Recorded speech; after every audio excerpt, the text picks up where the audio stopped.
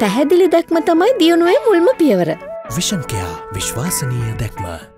ඇත්තරම මේ ආයතන රාජ්‍ය ආරක්ෂක අමාත්‍යංශයට යාම පිළිබඳව නෙමෙයි අපි හොයා බලන්න ඕනේ. රාජ්‍ය ආරක්ෂක අමාත්‍යංශයේ යටතට ඊටාම කෙටි පැය ගාණක් තුලදී රටේ පළවෙනි පුරවැසියාට ගන්නට පාදක වූ හේතු ඇත්තරම මම පුදුම වෙනවා මම හිතන්නේ අපි ඇත්තරම අගය කළ යුතු ජනාධිපතිතුමා ගත්ත මේ එඩිතර නිර්භීත තීන්දුව එසේ නොවන්නට මේ ආයතනය මෙතනින් එහාට අපිට පවත්වාගෙන යන්න බැරි තත්යකට අපි පරිපාලනය කඩාකප්පල් වෙන තත්ත්වයක් දක්වා මේක ගමන් කරලා තිබ්බා. මම කියන්නට අවශ්‍ය අවශ්‍යයි. හිටපු කැබිනට් නොවන ජනමාධ්‍ය අමාත්‍ය රුවන් විජේවර්ධන මහතා ඊයේ පැවති මාධ්‍ය සාකච්ඡාවදී කියලා තිබුණා මේක කඩා වැටිච්ච ආයතනයක්. මේක අංක 6 තියෙන්නේ. අනිකුත් නාලිකා හැටියට බැලුවම කියලා දැන් අපි ගාව තොරතුරු සහ දත්ත තියෙනවා. මේ නාලිකාව පහුගිය අවුරුදු කිහිපය තුළ තිබුණේ අංක 8 ඊට පස්සේ අංක 7ට ආවා. හරියටම අපේ නව පාලන අධිකාරිය කියන්නේ මගේ සභාපති ධූරය තුල මේ නාලිකාව අංක 6ට පැමිණියා. එතකොට එතුමාට ඇත්තටම අවශ්‍ය වුණේ අමාත්‍යාංශයේ අමාත්‍ය ධූරය බාරගත්ත මොහොතේ පටන් එතුමාට අවශ්‍ය පිරිසක් මේ